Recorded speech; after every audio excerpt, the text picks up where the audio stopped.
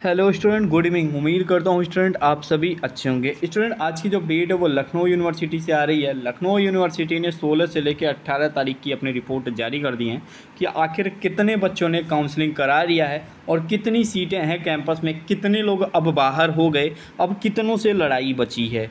सबसे पहले जान लीजिए स्टूडेंट, टोटल बारह हज़ार पाँच सौ चौरासी बच्चों ने, आठ सौ चौवन बच्चों ने परीक्षा दिया था। बारह हज़ार आठ सौ चौवन में से मात्र आठ हज़ार बच्चों ने काउंसलिंग कराया है, टोटल।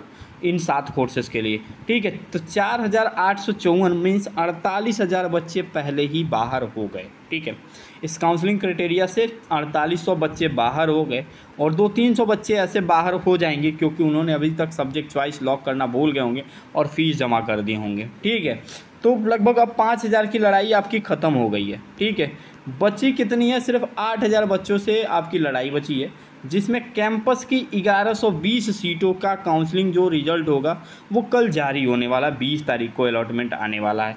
देखिए, चौवालीस सौ बच्चों ने परीक्षा दिया था 720 सीट है बी कॉम एन में। वहीं इकतीस बच्चे प्रेजेंट थे और 180 सीट था बीकॉम ऑनर्स में। वहीं बात करूँ एलएलबी में तो चौंतीस बच्चों ने परीक्षा दिया था 160 सीट है मात्र कैंपस में। वहीं 611 बच्चों ने बी बी ए अब्लिक बी एफ़ ए में परीक्षा दिया था, जिसमें 110 सीट है कैंपस में।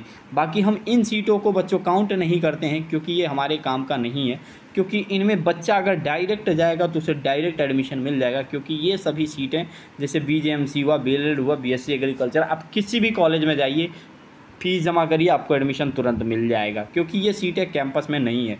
इसलिए हम जब भी इनका डेटा लेते हैं तो इन्हें हटा देते हैं। लेकिन अभी आपको बता दूँ, केवल मतलब चार हज़ार बच्चे बाहर हो गए। अब आपकी लड़ाई सिर्फ़ आठ हज़ार बच्चों से और लगभग ग्यारह सौ बीस सीटों पे लड़ाई शुरू है। ठीक है? इसका जो रिज़ल्ट होगा होगा स्टूडेंट, कल रात को नौ बजे या आठ से नौ बजे रात के बाद जारी होगा। ठीक है? नौ बजे तक ये रिज़ल्ट जारी होगा। अलॉटमेंट रिज़ल्ट जो होगा, बीस तारीख को आने वाला है। ठीक है? ये पूरा डेटा आ गया लखनऊ यूनिवर्सिटी से। ये काउंसलिंग रिपोर्ट हमने खुद तैयार करी है। ठीक है, जैसा डेटा आया था, जिसके हिसाब से आया था, हम सारी दिनों का डेटा एनालाइज करते हैं और उसके बाद से स्टूडेंट को बताते हैं। तो उम्मीद तो यही है कि बीकॉम में लगभग लगभग ये पता चला सूत्रों से कि लगभग लगभग दो हज़ार लोगों ने काउंसलिंग कराई है। मीन्स अगर जिसको पहले में सीट नहीं मिलेगा, उसको दूसरे में सीट ज़रूर मिल जाएगा। दो से ढाई हज़ार बच्चों ने बीकॉम में काउंसलिंग कराई है। ये एग्जैक्ट डेटा है स्टूडेंट मात्र ढाई हज़ार लोगों ने काउंसलिंग कराई है। मीन्स एक सीट पर तीन लोगों ने काउंसलिंग कराई है। ठीक है? तो ये पूरा उम्मीद है बच्चों। बीकॉम में अगर जो भी फॉर्म भरा होगा। जिसने भी मेन कैंपस लॉक कर दिया होगा तो उसे फ़र्स्ट सेकंड थर्ड तक उसको सीट मिल ही जाएगा बच्चों।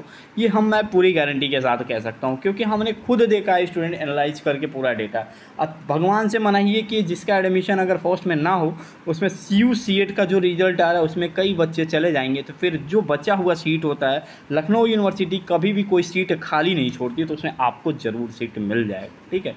तो स्टूडेंट उम्मीद करता हूँ ये वीडियो आपको पसंद आया होगा। तो वीडियो को लाइक ज़रूर मारिएगा और चैनल पर नए तो सब्सक्राइब करिएगा और अपने दोस्तों से ज़रूर कहिएगा सब्सक्राइब करने के लिए, क्योंकि हम आपके सामने हर वो एग्जैक्ट इन्फॉर्मेशन लाते हैं जो कभी कोई नहीं लेके आता है। तो मीन्स ग्यारह सीटों का अलॉटमेंट कल आ रहा है, जिसमें आठ हज़ार लोग पार्टिसिपेट किए हैं।